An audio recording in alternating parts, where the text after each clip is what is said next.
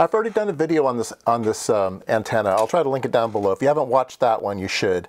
Um, but I think everybody came to the conclusion that this uh, SMA connector on the front was just wrong. Just that was just wrong and silly. So it's supposed to have a coax that's soldered down. The coax acts as a balun, um, and the impedance of the amplifier of the uh, antenna then goes to 50 ohms. Um, there's a bunch of papers online about designing these things on PC boards from different universities and stuff. Anyway, um, yeah. So this is the way it should be. There should be an SMA coax soldered down all the way. Uh, half of the uh, elements are on one side, half the elements are on the other side. They swap back and forth each time, so it's uh, uh, a bunch of dipoles out of phase each time in a log periodic uh, uh, spacing. Um, yeah, so it should be a log periodic and it should work pretty good and that's the way it should look. So if you get one of these, yeah, rip, rip the stupid connector off, solder down some coax, and uh, yeah, put a SMA connector on it. It's got one of those little thumbnail things on it.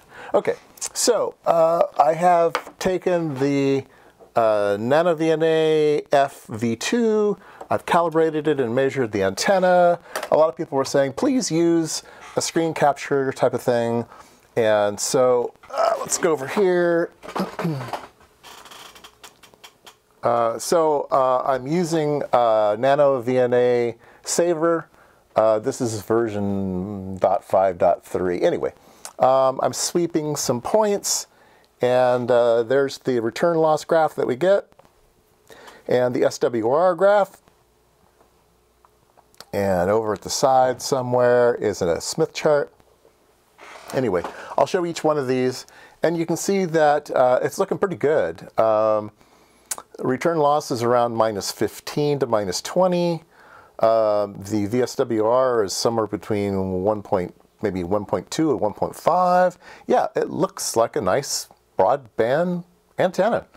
Uh, very, very nice. Now, I'm sweeping it to uh, 500 megahertz, but the antenna is designed to 800, so uh, ignore the left-hand side there where it's no good. Um, but uh, where that big dip is at the beginning, that's 800 megahertz, and uh, yeah, this thing is working a treat. So anyway, um, I do recommend the antenna if you hack it. I guess you can call it hacking.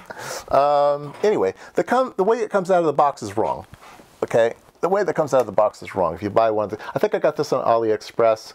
Um, yeah, rip that, rip that um, SMA connector out of there, put on some coax, solder it down the length. There's one side here, the ground side of the PC board has no solder mask. It, it's made to solder down. It, it was made that way.